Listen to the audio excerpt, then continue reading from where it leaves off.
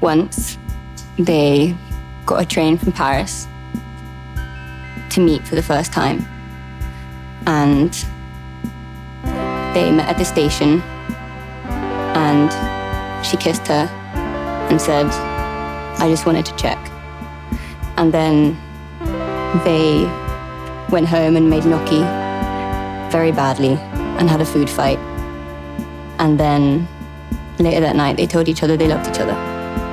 And they felt like there was this bond between them that had sort of always been there.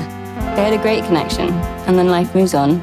They haven't seen each other in a while, but she talks about how their friendship was the thing that survived, and actually how, like, all of the romance and sex is wonderful, but if you have like this foundation of friendship, then that's where everything comes from.